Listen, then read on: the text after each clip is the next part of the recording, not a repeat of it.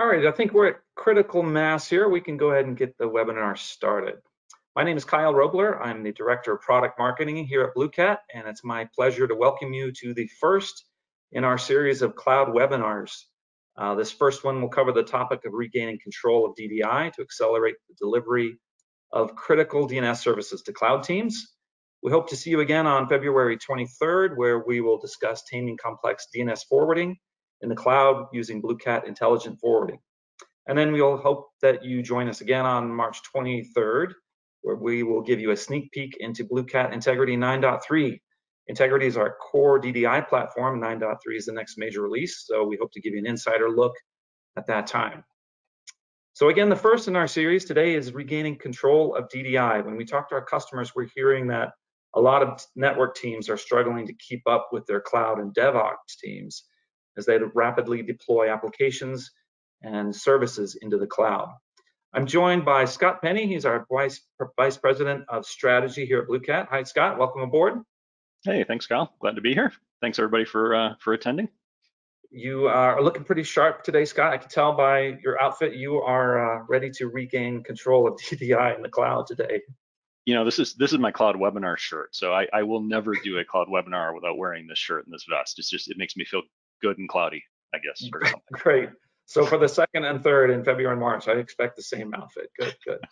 Do my Well, best. before we before we dive in, let's cover two housekeeping items. Uh, the first is if people have questions as we move along, uh, you'll notice in your go to webinar navigation pane, there's a questions drop down. Go ahead and put your questions in there. We'll cover them in a Q&A session towards the end of the call. And then second, if you happen to be a member of our network VIP uh, community in Slack. Feel free to Slack us your questions at the general channel there. We'll also monitor that and bring them in uh, as needed. So let's go ahead and dive in. Uh, Scott, would you mind walking us through what we're going to be covering today? Yeah, sure. So at, at, a really high level, this is these are the topics we're going to cover. So we're going to start with a very brief, sort of high level, you know, just chat about you know cloud direction and how that's impacting you know data centers and traditional DDI administrators and things like that. Uh, then we'll we'll talk specifically about the four challenges that we get a lot from our customers around cloud. Uh, so we'll we'll talk about you know how that's impacting you know day-to-day life for for our customers and and talk about how we can solve those. Then we'll actually solve those challenges. So we're going to do a, uh, a real-time kind of live demo here of of deploying infrastructure and doing some other cool stuff, uh, just so everybody can see how it actually works uh, in our products and in the cloud. Uh, and then hopefully we'll have some time at the end to to do a little bit of Q&A and uh, make sure we answer anybody's questions. So uh, that, that's kind of what's on the on the tap for today. So I guess without uh, without any further preamble, why don't we uh, why don't we go ahead and dig into the details?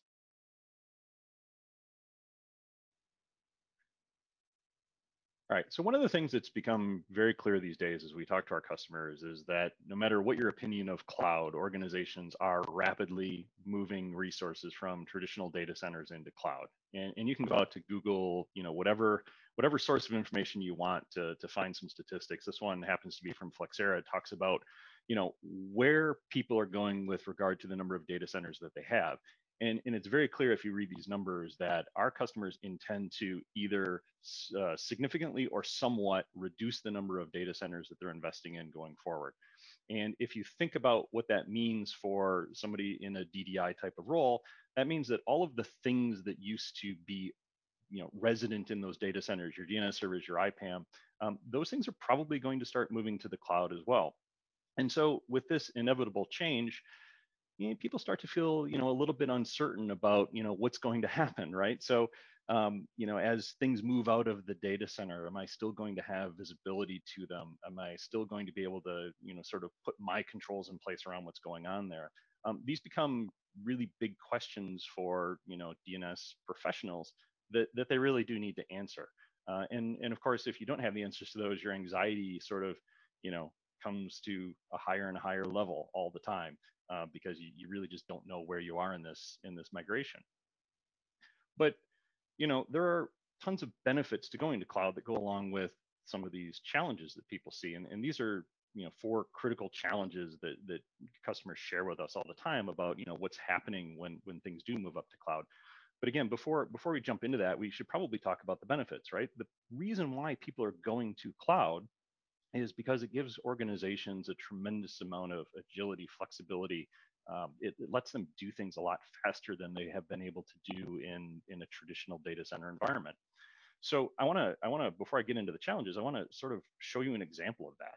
Um, you know, one of one of the beauty, beautiful things of cloud is instead of going through, you know, massive change processes and acquiring hardware and having to rack and stack and cable and power that hardware, um, I can actually deploy infrastructure at will uh, at any time via code.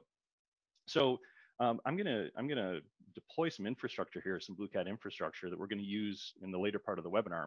It's gonna take not very long to deploy, but let me uh, let me go ahead and kick that off here. And I'm going to be using a tool called Terraform to do this. And if you go to our BlueCat Labs website, which we'll provide a link for, uh, you'll be able to download this example code that I'm using. But basically, I'm just going to run a Terraform command here to deploy a BlueCat address manager, a BlueCat DNS DHCP server, a gateway server, and a test client up into an Amazon environment. So let me kick that off. All right. So now, while that's going, let's uh, let's talk about some of these challenges. So um, the first challenge is really around this idea of visibility and control. So as things start to shift to the cloud, and as you know, DevOps teams or, or whoever start getting the ability to deploy infrastructure rapidly, a lot of times the, the DDI team starts to lose visibility into what's actually being deployed. And, and of course that can that can cause a number of issues, right? So if if people are deploying networks and infrastructure, uh, signing IP addresses, updating DNS records, maybe overriding DNS records in the cloud, that has impact to the people who are who are you know working with those tools, and, and that could cause conflicts with you know things in my data center, things in other clouds. Uh, and so it's really hard for DDI teams to, to really maintain visibility into what's going on. And at the same time, if, if I'm deploying DNS out in Amazon or Azure and somebody else is managing that, I, have lost control over that. So I don't really know how that configuration is being done. And if somebody maybe makes forwarding rule changes that, that conflict with something I've done in my data center, I might actually cause an outage. And, and that can have you know pretty massive impacts on everybody the the third thing we hear a lot is that teams just just frankly feel left in the dust right as as infrastructure starts to become more fluid um, either the tickets are going to pile up and i'm going to have to do you know a herculean effort to keep up with all the changes and make all the manual adjustments um, or i'm going to kind of get left behind right people are going to orchestrate everything outside of of you know this this this nice stable consistent ddi platform that i've spent a long time putting in place so I need to be able to move as fast as the cloud teams if I'm going to sort of keep my place in this in this environment. And then the final thing we hear a lot, and I mentioned it a little bit before, is as we start to fragment out DNS and have little bits of it here and there and in this cloud and that cloud, um, I need to still make sure that my clients have a way to you know route through that. You know, I need to be able to get to some resource in the cloud or in this data center in this remote office and, and a lot of times, just because of the way DNS works, that becomes really, really hard. And I start to end up with this tangle of conditional forwarding rules and, and things like that to make sure that my clients can actually connect to things.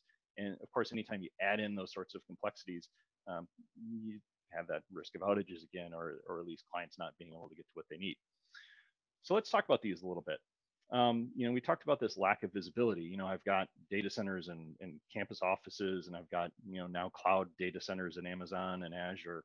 Um, when things get pushed out there, I still need to know what's going on, right? So, so BlueCat offers a solution that we're going to look at a little bit later called you know, Cloud Discovery and Visibility, which allows you to actually connect to those cloud services and watch for changes in DNS configuration or network configuration there and pull that information back into your address manager. So you'll have a you know up-to-date sort of real-time monitored view of what's going on on all those clouds so that you can make better decisions about how you're going to configure things or how you're going to allocate resources. So that's that's really the solution to this idea of you know getting visibility into what's going on, um, which which maybe now somewhere else or somebody else is taking care of that. The second thing that we're going to talk about and we're going to show today is this idea of control, right? And, and as, as DNS goes out to these clouds, right? I, I've got my on-premises data center stuff.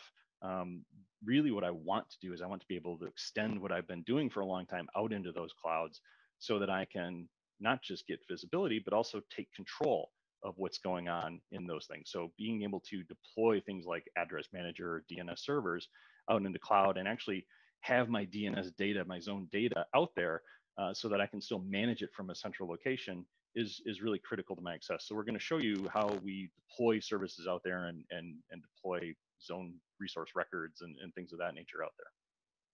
The next challenge that we talked about was, you know, this ability to automate and orchestrate rapid changes. And we've already really kind of covered this one when I showed you, you know, sort of how to deploy infrastructure with Terraform.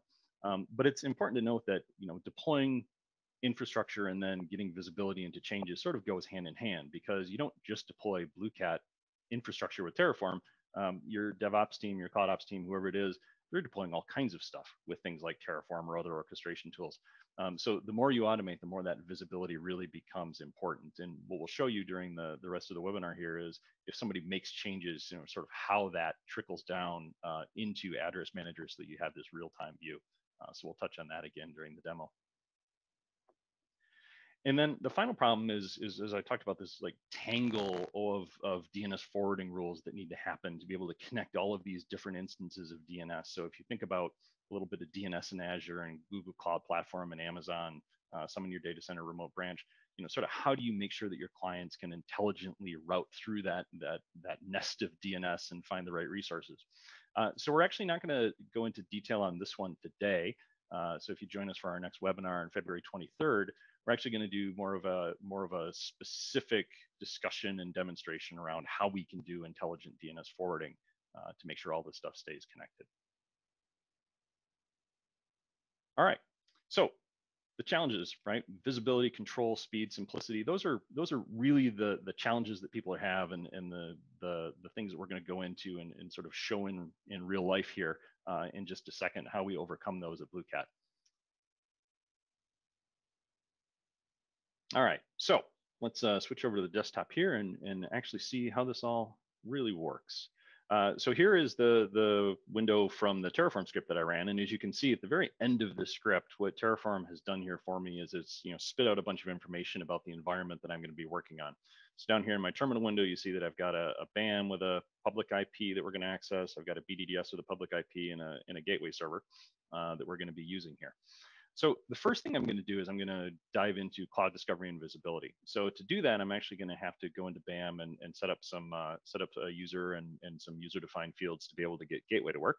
So I'm going to go ahead and copy this, go up here, head to my BAM. And again, this infrastructure has all been freshly built up in uh, in AWS, so uh, nothing's been configured to this point. So I'm going to go ahead and accept that.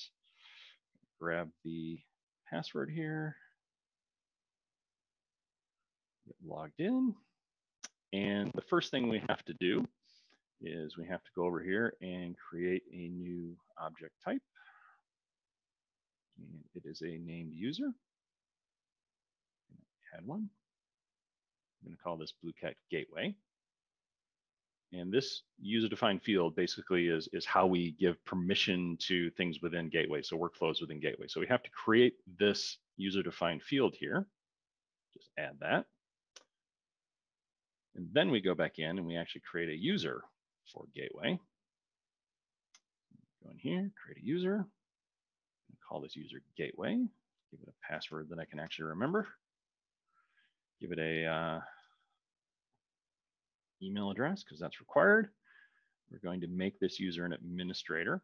And I have to be sure to give both GUI and API access because all of the gateway workflows are going to be using our BAM API. So I got to make sure I've got the right access type here. And then down here in my user defined field, I'm going to just add this to all. So when I create permissions for my workflows, I'm going to, I'm going to add those workflows to all so that this user has access. So go ahead and add that. Get LastPass to stop popping up. Uh, all right, so we've got our BAM configured. So now let's go over to Gateway. So grab my public IP from my gateway.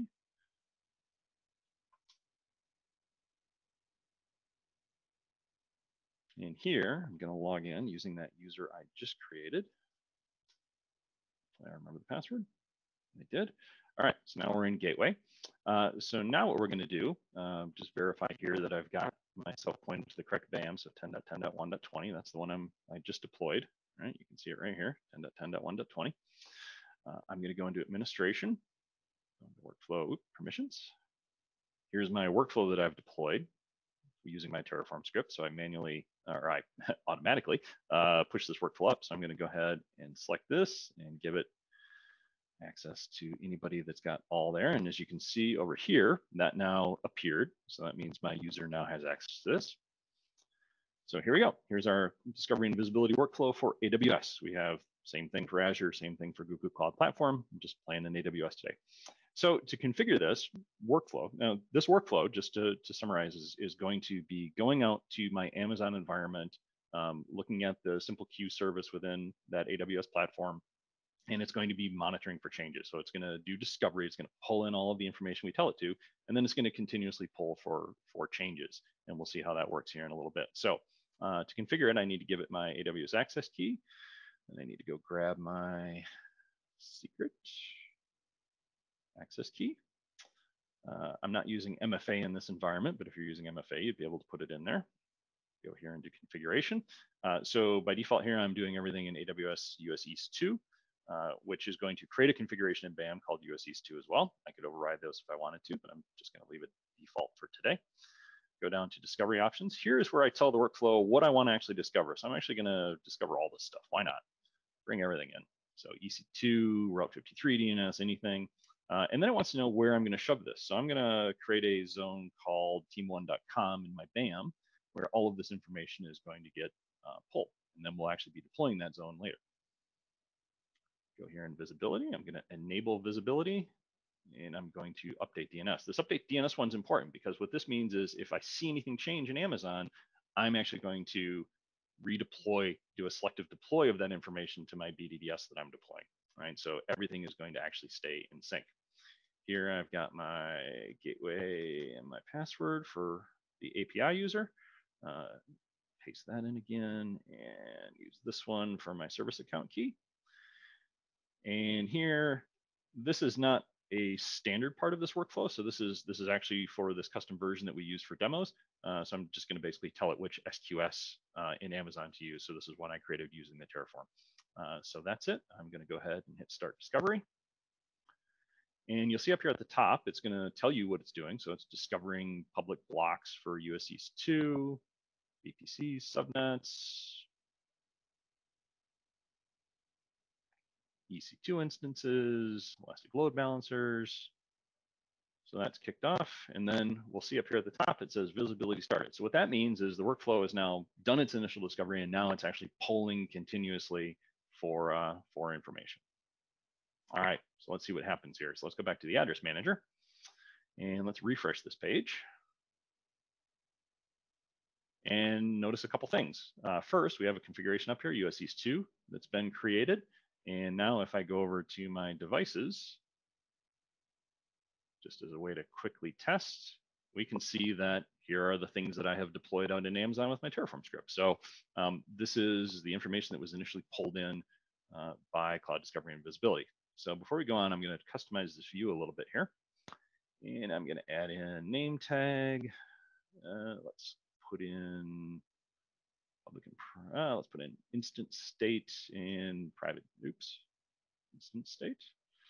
And let's do public DNS name. We'll do update. So here, as you can see, I've pulled in some additional information. So here are the name tags that I defined for these servers. And here's the DNS public name. Now that's on the devices. If I go into my DNS here, and if I drill down here into Amazon DNS external, com, here's team1.com. So again, here's the zone that I configured in the workflow. And here are all my resource records related to this. So you can actually compare these over here. Dot 134, for example, look over here, and sure enough, that's the BAM public IP that was defined, right? So here's all of my stuff. Okay, so that was just step one. That's me pulling information in. But the cool part about this is it actually is updated in real time. So if I open up another window here, and I log in to this environment, which I probably should have done ahead of time. Logged in.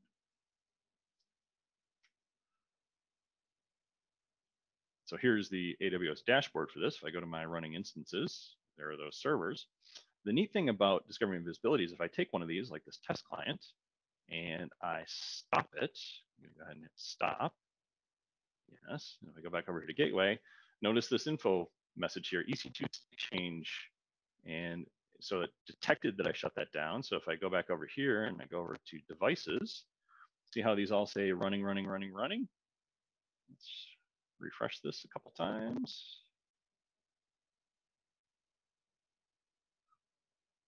And look, it changed to stopped.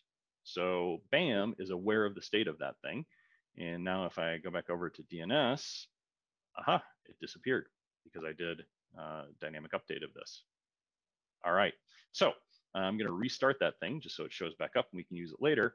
But you can see that this is all working. We've got discovery visibility running, it's polling for changes, it's finding updates, and it's updating our IPAM and our DNS.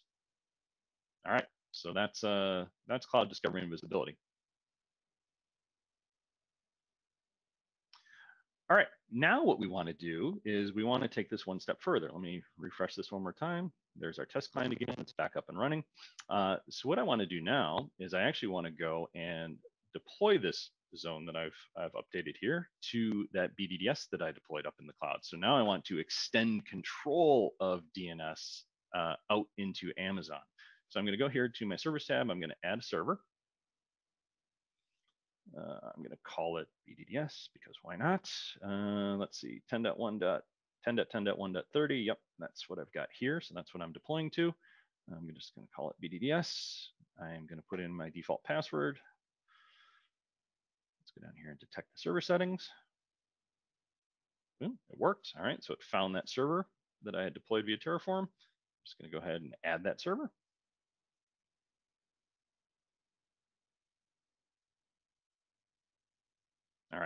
There we go. Stop asking me to add things. Uh, all right, so we've got our BDDS. It's out there. Now let's go back to our DNS. Here we're in team1.com. So let's put in a deployment role. So let's add a deployment role.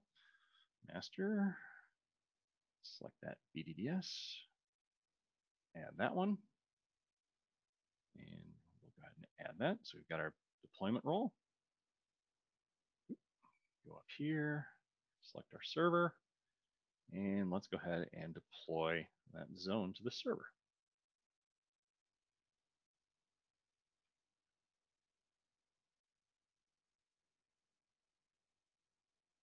All right, there we go. Okay, so what have we done here? Just to summarize. So we discovered all of this DNS data, right? And we found and we created these resource records. We're monitoring for these changes. So, you know, this the gateway workflow is constantly going out, looking at the queue, seeing if anything's changes, you know, add, stop, deleted, whatever. Uh, all of that is getting reflected into this zone. We've then taken this zone information, we've deployed it out to a BDDS that we deployed in Amazon. So now we have a server out there that can act as the authority for this information. So, um, and that authority is going to be updated every time there's a change. So let's do a little bit of testing. So let me open up another terminal here and let's dig at this BDDS. Team one, there we go. All right, so we do a dig and look, we get a no error and we get an answer. We get the answer for the public IP of this client. Uh, now, keep in mind for purposes of this demo, I'm, I'm using public IPs. Uh, works equally well with internal IPs. Uh, it just depends on how you're doing your discovery and how you have things configured. Um, but anyway, I get a response here, uh, no error for this test one client. And again, let's let's just see what happens when I shut that thing down again. So if I go back in here, take this guy, let's stop him again. Yeah, stop him. Again, go here to AWS. Yep, we see that the thing changed. Let's go back here to our devices. Wait until this thing gets uh, changed to stopped in BAM. And there, disappeared. First it stops, then it disappears. Depends on when you hit refresh. Uh, so it's gone from our devices list. If we go over here to our DNS, it's gone. Okay, and then remember, we check that, you know, deploy changes. So this would then do a selective deployment to our BDDS. So if we go back over here to our environment and we do that same dig again, NX domain, record's gone. So AWS administrator stopped the instance. Gateway saw that change. Gateway updated BAM with the current status of that device. The DNS record, because that device was stopped, the DNS record got removed. And so anybody who is hitting that BDDS that we deployed now gets an appropriate response, which is NX domain. That thing is not here anymore. So now we've actually put together cloud discovery and visibility with uh, deploying BDDSs to the cloud. So now I've got an authoritative server in Amazon that's going to have accurate, up-to-date information about everything that's happening in my environment in real time. Pretty cool stuff.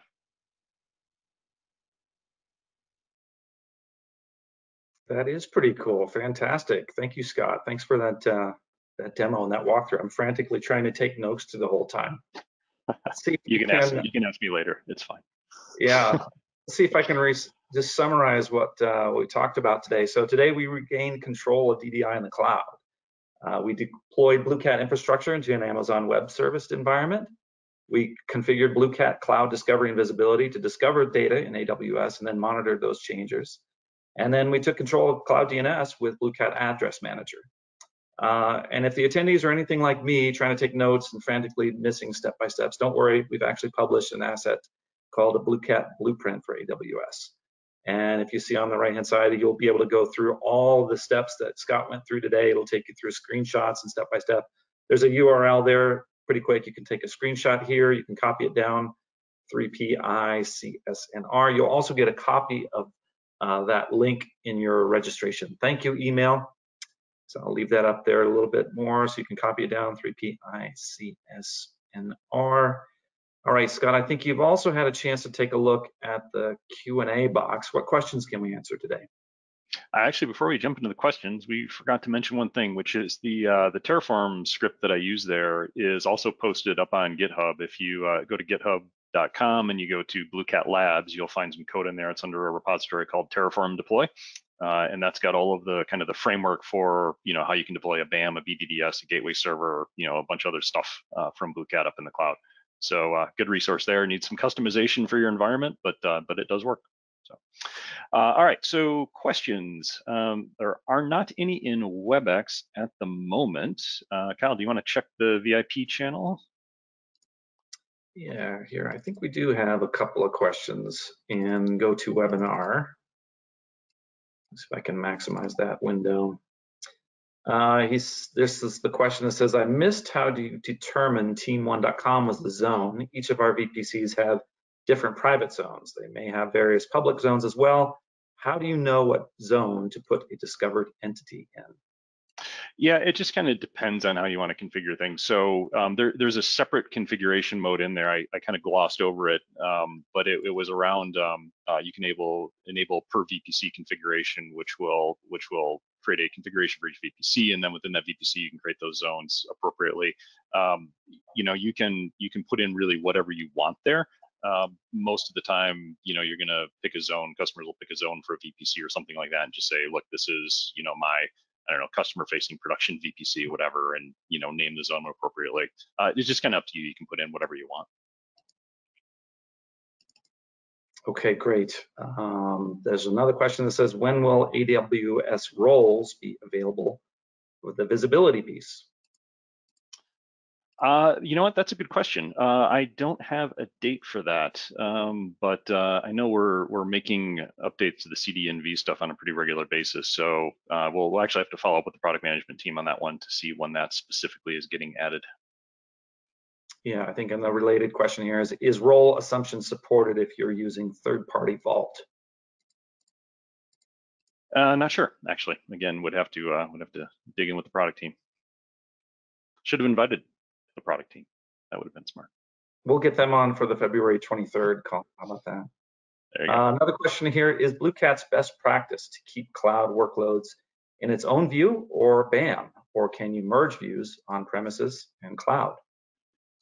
Um, you can certainly merge them. In fact, I, I would strongly suggest merging the views. Um, you know, one of uh, one of the reasons for using views is because you know you've got overlaps or conflicts or something like that, and so you have to you know sort of dictate how um, this client, you know, the, the DNS data that this client's going to see versus this client, um, and it, it, gets problematic to manage. Uh, and actually, uh, whoever's asking that question, you should definitely come to the next webinar uh, on the 23rd, I believe it is, because that's kind of specifically what we're talking about there. uh, is you know the ability to sort of have overlapping records that that you know might be appropriate based on where you know my client is uh, and that may be different if my client's in the cloud versus on-prem versus a branch office and we'll be kind of going through a real kind of use case for how you route those queries appropriately uh, so that you don't have to have a bunch of views good good all right another question here how does the integrity solution fit should an enterprise use aws private hosted zones so aws manages the zone yeah, if you're using private hosted zones, um, you know, you don't have to have a, a, BDDS in the cloud. Of course, you you you don't have to. Um, the really the the point is, well, there's a couple points. One is uh, a lot of our customers they really want to have um, controls, very granular, specific control over the DNS authority that's sitting out into a in a virtual network, and and so deploying a BDDS there makes a heck of a lot of sense in that regard. Um, but not everybody really cares about that, right? So if if you're you know, leveraging private zones, private hosted zones. Um, again, it kind of falls back to that uh, the last question, which is, you know, uh, how do I just make sure that I can check that hosted zone for appropriate data for my clients that are in the cloud, because that's mostly what that would be useful for. Um, and then also be able to route back to a data center or, or somewhere else to get other information, or, or, maybe from Amazon to Azure or Azure to Google. Uh, so again, that, that next webinar kind of talk through some of those use cases. But you you could you could manage your your DNS, your resource records up in private zones, um, and and simply make BAM aware of them, right? Just make integrity aware of them. Whether you choose to deploy those or not, it's just kind of up to you. Depends on the problem you're trying to solve. Good. Another question: How do you handle multiple AWS accounts? Would they have different keys? Yes, they would. Uh, so this is actually, and I think this one's out in the most recent, uh, the most recent version of Cloud Discovery and Visibility. It's a, a, slightly different version, of the one that I'm using in the demo here. Uh, so I believe you can uh, put in multiple accounts in that one. So if if not, uh, ping me directly. I think we're going to put contact uh, information out there, and I can I can get you the right version. But that's a very common a very common issue we found is you know you've got hundreds of accounts and you know different credentials. Good. I think you answered this earlier, but do we have an ETA on Google? Uh, yeah, Google is out. Um, so we, we actually do have Cloud Discovery and Visibility. We just released it, uh, I want to say it was just a couple weeks ago. Uh, so that is out. So we have Azure, we have Amazon, we have Google Cloud Platform. Uh, if anybody's got another one, uh, we, we hear Oracle once in a while. Um, you know, put definitely put those requests in through your account team, and, and we'll take them under consideration. Okay, Great. Well, I think that concludes the questions. Um, if there are no more, I don't see any in the general uh, channel on Slack either. So I just want to remind everybody that we've got the second and third in our series coming up February 23rd and March 23rd. So be sure and join us for those. If you've already registered, don't worry, you don't need to click anything else. You'll get reminders in your email uh, right before those events. Uh, if you happen to be a BlueCat customer, I uh, also want to inform you that on February 9th, we've got a hands-on workshop for our virtual user group. This is actually a repeat of a workshop we ran in December. Uh, it was quite popular, but due to the holidays, some people couldn't attend, so we're giving a, a second chance to attend that one. If you did attend, we would uh, ask that you recommend it to your colleagues who you think might benefit from that information, and simply get in, in touch with your uh, sales rep or your customer success manager to reserve your seat there. So I thank you everybody for attending. We'll see you at the 23rd of February and then again at the 23rd of March. And this concludes our webinar for today. Thank you for attending.